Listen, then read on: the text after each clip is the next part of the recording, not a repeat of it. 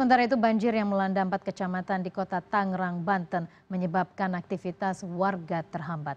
Meski tim patroli telah mengimbau warga untuk mengungsi, warga tetap enggan dan bertahan di rumahnya.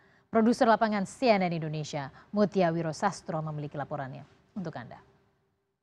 Sampai saat ini tim yang berpatroli yang merupakan gabungan bukan cuma dari BPBD dari Kota Tangerang saja Satpol PP namun juga dibantu dengan TNI Polri dan juga pihak berundang lainnya yang juga ikut berpatroli dari hari Minggu malam sampai saat ini sampai hari Selasa yang turut bergantian mengevakuasi juga para warga yang juga masih bertahan di kediamannya yang baru bisa dievakuasi saat ini karena sudah berangsur-angsur dari kemarin menyelamatkan harta benda berharganya terlebih dahulu.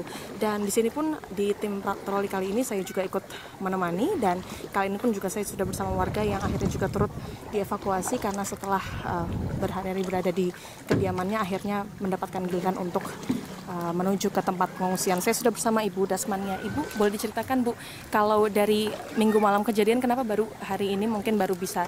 Apakah memang sudah keputusan Ibu berada di kediaman? Apa kemarin udah keluar?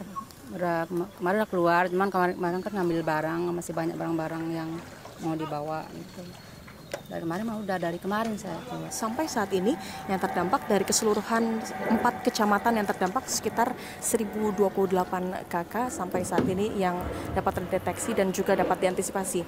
Mutia Wirosastro Tangerang